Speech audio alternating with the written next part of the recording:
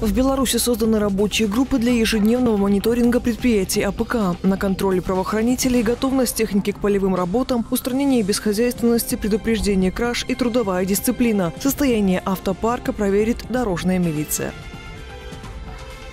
Министерство антимонопольного регулирования и торговли ведет системный контроль за ценами. На сайте ведомства открыто электронное окно, где каждый может сообщить о завышении стоимости. Все сведения аккумулируются, систематизируются и принимаются в работу.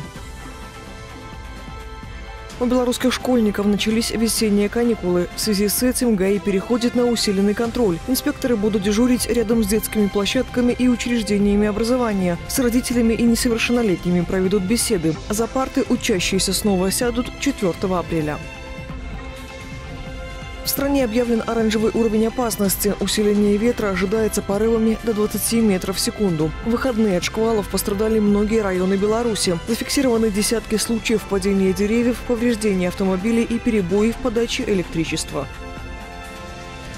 В Бобруйском районе руку женщины зажало все на дробилке. ЧП произошло в пятницу вечером. Сотрудники МЧС освободили пострадавшую при помощи специального инструмента. Жительницу деревни Березовичи госпитализировали с множественными переломами.